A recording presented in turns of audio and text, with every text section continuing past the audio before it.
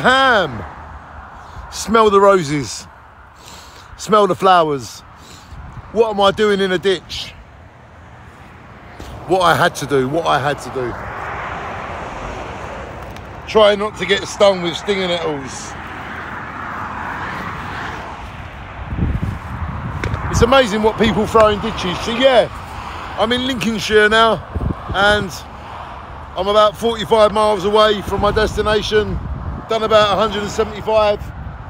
So about 215 to get there. The sat nav said 188. The sat navs never ever get it right.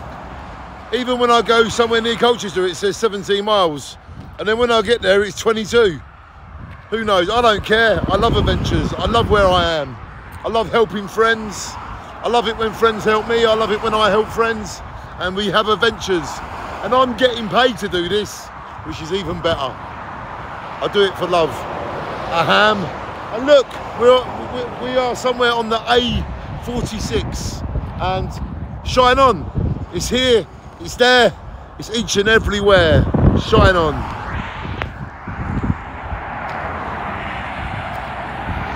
So yeah, I've just pulled into this public place and it says there's a public footpath, but it's so overgrown. How do you get access to the public footpath? Look, that is a public footpath. How do you gain access to it? So yeah, shine on to these places where I've never been before, but I have driven down this road before, a ham. Anyway, I've got things to do. So have you, so have I. Don't ever look down on someone unless you're helping them up. A ham, a ham. I love hamming.